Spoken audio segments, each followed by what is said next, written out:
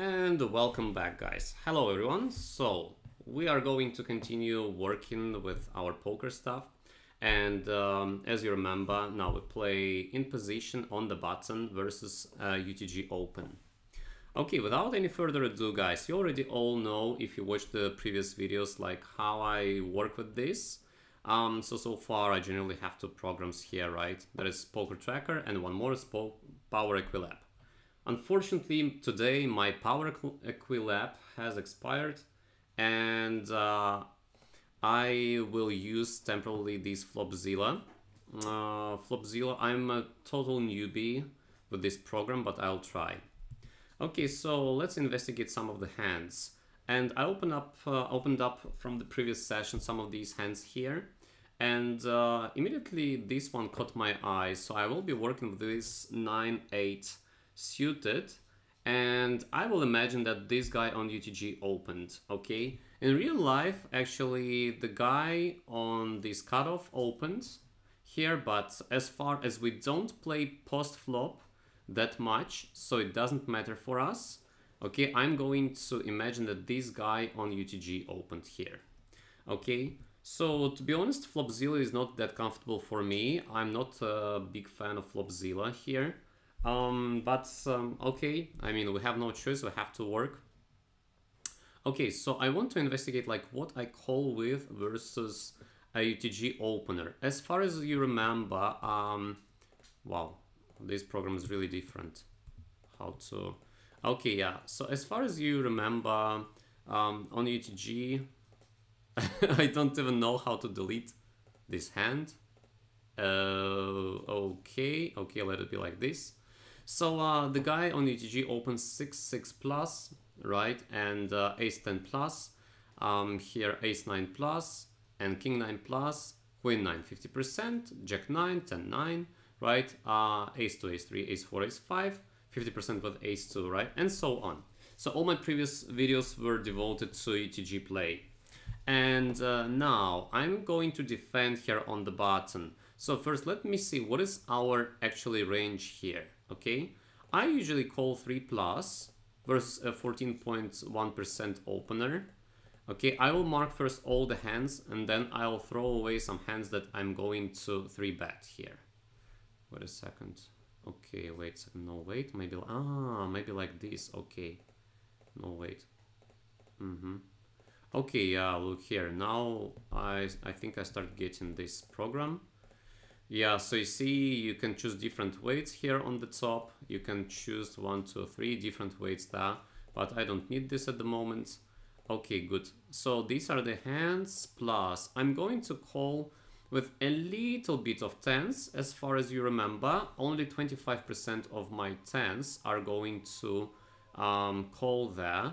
The reason for this, and I will always be telling you here this in the upcoming videos, there's gonna be like my mantra, you need to think every time what do you charge. If you play versus an opponent that opens up only 6% of their range, how can you charge him with, for example, with your 6-5 suited call? It is like you don't want to call this 6-5 all the time. There's a 6% open, right? Because the opponent is so tight, you really want to outplay him.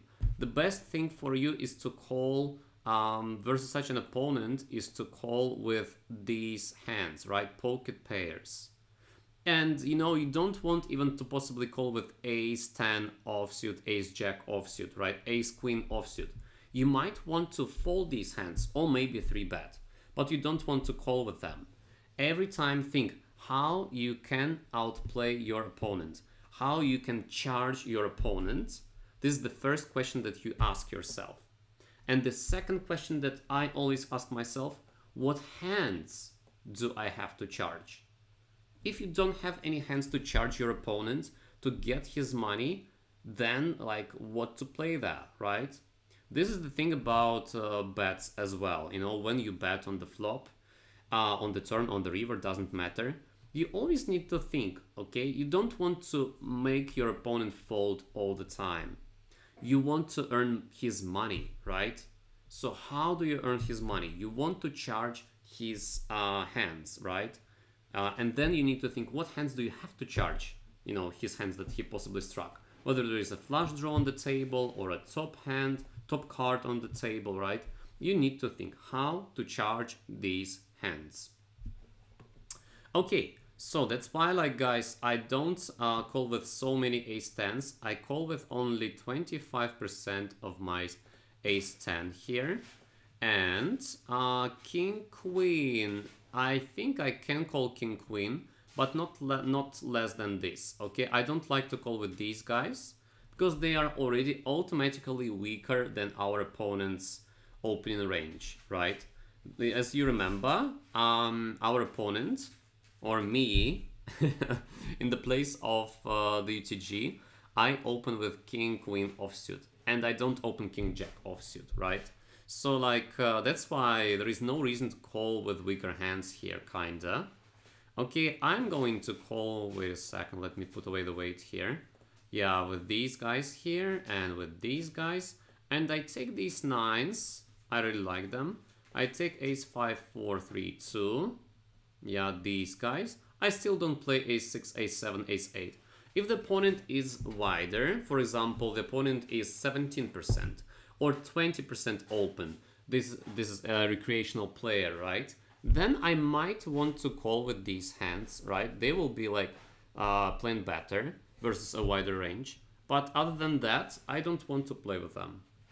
Uh, all these suited connectors are really nice to play in position. They really well realize their position, right?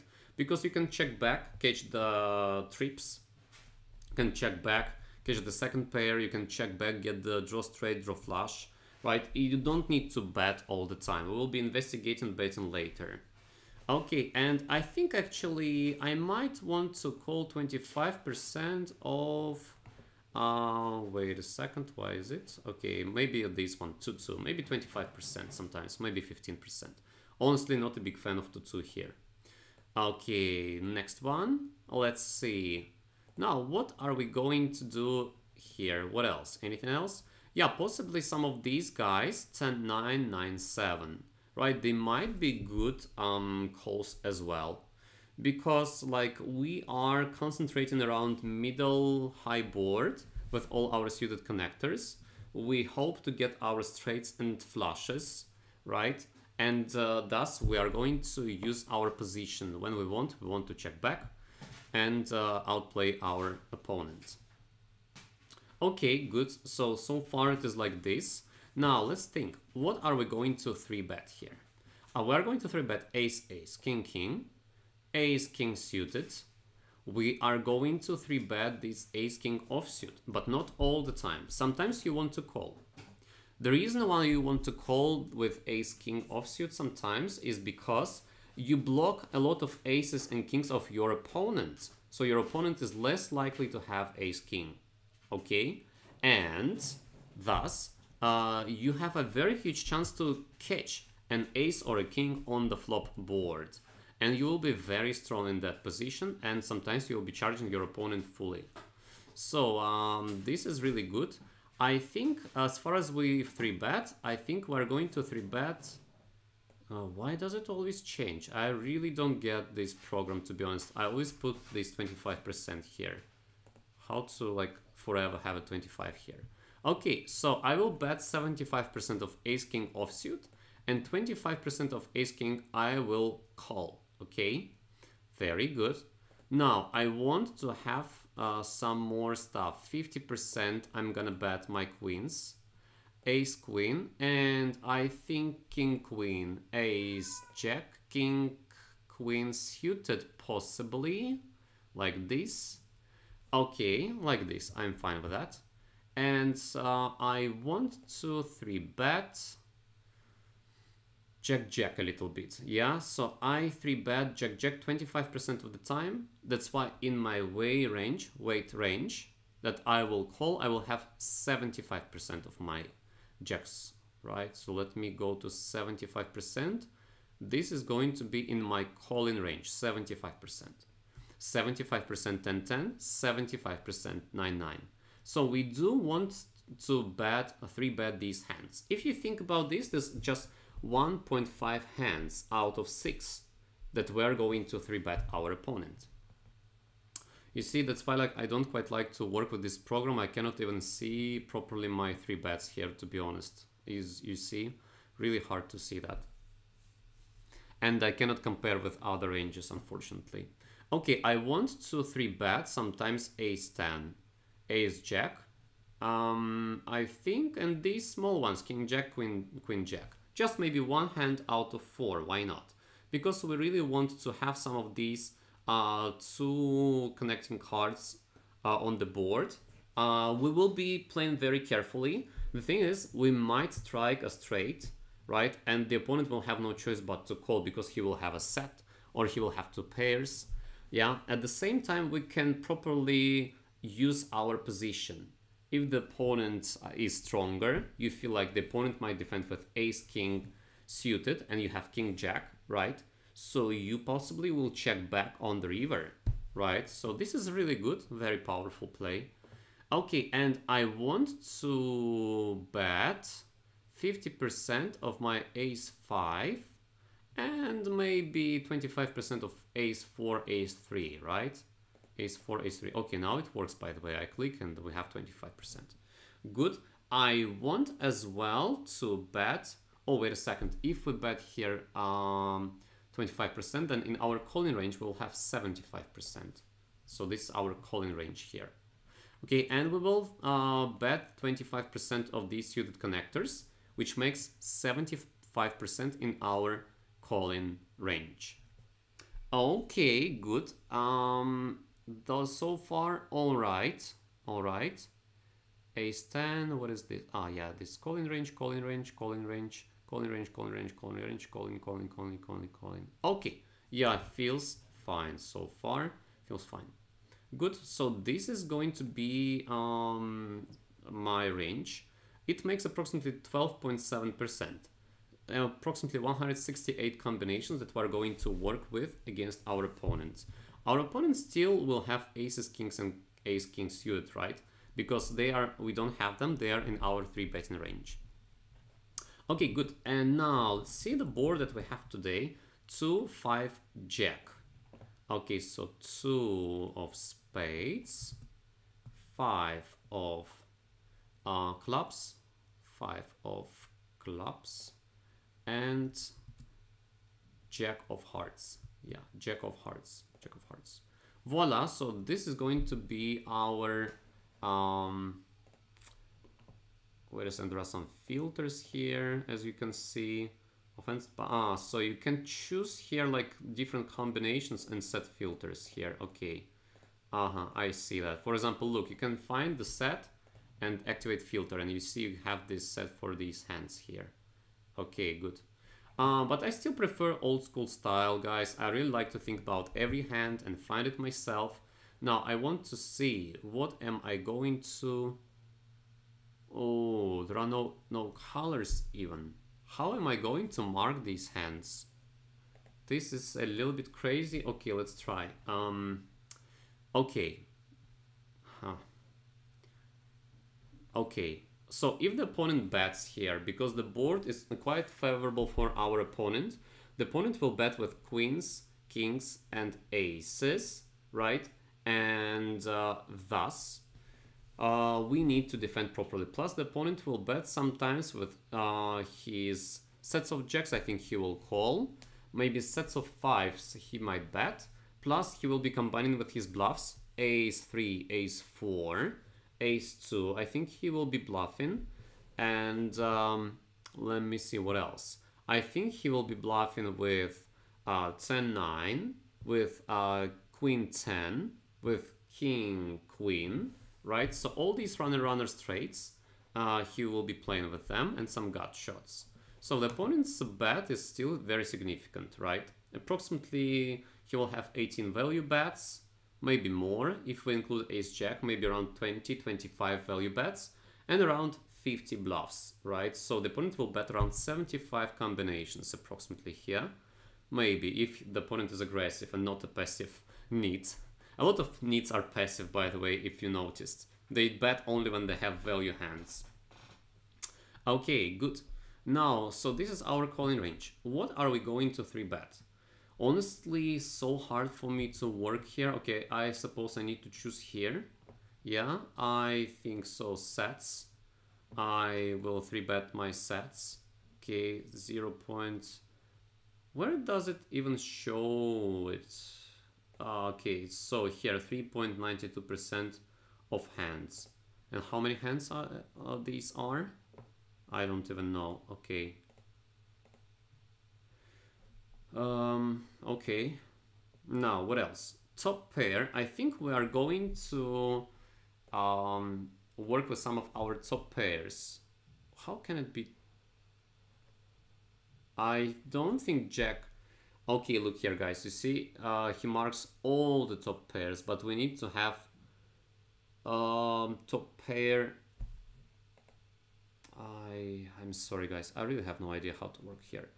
Um, how to mark these hands? Okay, I suppose I will just try to unmark them Okay, so I will be 3-betting, I think.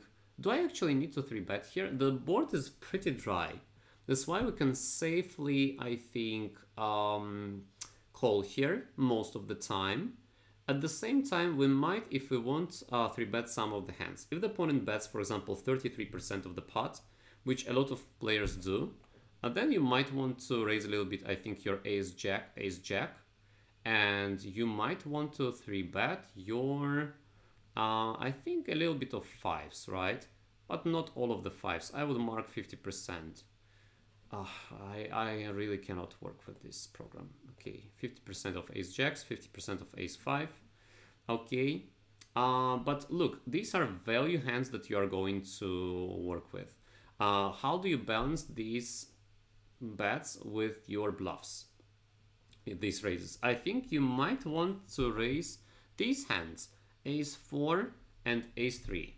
I think it is quite logical to call with the second pair, ace 5, right? It is alright to call with ace 2, especially hearts and uh, clubs, right? But ace 3, ace 4, they are quite good to 3-bet here. So I think I will be 3-betting them, these guys.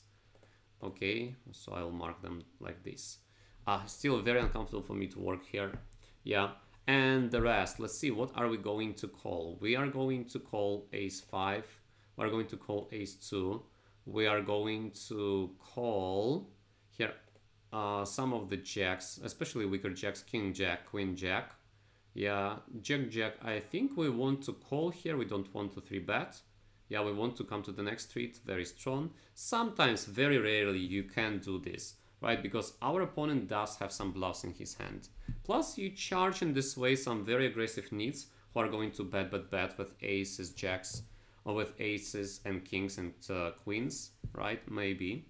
Maybe they're going to defend, maybe they will jam into you. Okay, uh, so some of the ace jacks we call. I think we are going to call... I think we are going to 3-bet a little bit with our queens to charge his jacks as well. Okay, we're going to just call 10s, 9s, 8s, 7s, 6s. So some 5s we raise, some 5s we call. We call 6, 5, 5, 4. We might actually raise 5, 4 as a bluff to compensate for so many value bets and our queen value bets. We are going to call Jack 10, very weak one. Yeah. And let's see what else. 2, 2.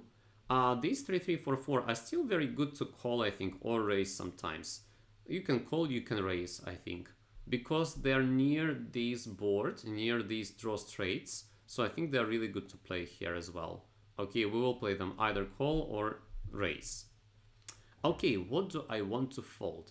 I think I want to fold this ace-10. Really hard to realize any potential with ace-10. You need two cards at least to you see to work with this hand to get your straight. Very difficult so I fold it it doesn't have potential. If the opponent bets especially 50% or 75% you don't have that much equity right? You need two cards guys that would favor you. It's really hard to get. And no flushes you know no potential flushes. You don't want to play with this hand. Even if you catch an ace the opponent might have ace queen ace king ace jack right so you really suck with this hand so we fold this hand. Um, we are going, I think, to call with... Uh, Okay, we need to deal with this one. Um, hearts, clubs, and spades. Okay, this one. 10, 9. Yes. Um, so this jack we're going just to call. Okay. Wait, apply. 10, 9. Okay, good. Um, this hand, jack 9, we will just call with this one. Uh, queen 10, the same. We're going to use these hearts, clubs, and spades to call. Um, like this. Okay. Uh, king 10, the same. So all these like potentially cool guys um, that, that are going to be runner, runner flushes and runner, runner straights. Uh, but they are at the same time, right? Not like, like that ace 10 offsuit. Yeah, they are at the same time like this. So we can call with them. Uh, ace 9, king 9, queen 9, we're going to, I think, fold most of the time. We're really far away from these jacks. Only 10s kind of make weather for us, so maybe some 10s are fine, but ace 9 I really want to fold here. Even if I catch a 10, it's so difficult with it. Hmm. Yeah, I really want to fold it. These guys, maybe you can, uh, ace king, you can call maybe fully, because uh, there is a rainbow board and we can catch an ace or a king. So, alright. Um, ace queen. Ace queen, I think you can call, you can fold, I think. So 50% I will call, 50% I will fold. Okay, what else? King, queen. I think um, most of the time, I, I think the same, call and fold mostly call, I think, because we're near jack, we need a 10 or an ace to get a draw straight. So it feels fine to call more than to fold. Okay. Uh, 7, 6. The same, like, it is near these cards, 7, 6. So I will apply this one. Hearts, clubs, and spades. I will call. A7, I think already further a little bit, but we need a 6 and we will be good here, right? So I will call with it. Okay, if we catch a 6 or a 9, I think they're very playable still. 9-7, already a little bit much more difficult to play, right? So it is like a double gut shot. Two, two, two gaps in here, right? A 6, a 6 gap, right? Let me think, if I catch, catch a 6 or a 10, well, still kind of playable, right? Still kind of playable, but not that much. I think I would prefer to fold it. 10 9 mm, maybe the same I would prefer to fold it only 9 helps us if calling I would call rather 9 7 than 10 8 so maybe 10 8 I will fold and 10 7 at the same time it is still hard look if you get a 10 yeah like you will have jack 10 9 and you need an 8 very difficult to play but at the same time you can have draw straight draw flush right on the turn so maybe this is all right it's a difficult hand here.